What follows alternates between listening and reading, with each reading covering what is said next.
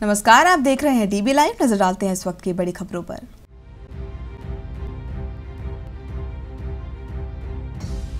तीन दिन की छुट्टी के बाद आज खुले बैंक कैश की किल्लत से जूझ रहे लोगों की बैंकों और एटीएम के बाहर लगी लंबी कतारें।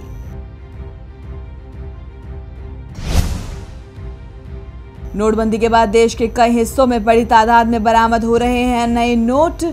गुवाहाटी में कारोबारी के घर से मिले एक करोड़ पचपन लाख के नए नोट तो जयपुर में तीन लोगों से चौसठ लाख रुपए बरामद। आज से कैशलेस ट्रांजैक्शन के ज़रिए मिलेगा डिस्काउंट। पेट्रोल, डीजल की कैशलेस खरीद पर 0.75 फ़ीसदी की छूट। सीधा बैंक अकाउंट में जाएगी राशि। डिजिटल भुगतान को बढ़ावा देने के लिए सरकार का कदम। आज आंध्र प्रदेश और पूर्वी कर्नाटक पहुँच सकता है तूफ़ान। वर्धा तूफ़ान से तमिलनाडु में 10 लोगों की मौत, अलर्ट पर एयरपोर्ट और एनडीआरएफ की 19 टीमें। संसद हमले की पंद्रहवीं बरसी आज 13 दिसंबर 2001 को हुआ था संसद पर हमला। पाँच पुलिस वाले समेत आठ लोग हुए थे शहीद।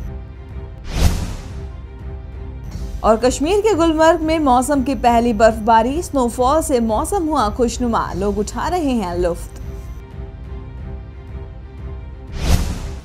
तो ये थी इस वक्त की बड़ी खबरें। देखते रहिए डीबी लाइव क्योंकि यहाँ है खबरें लगातार।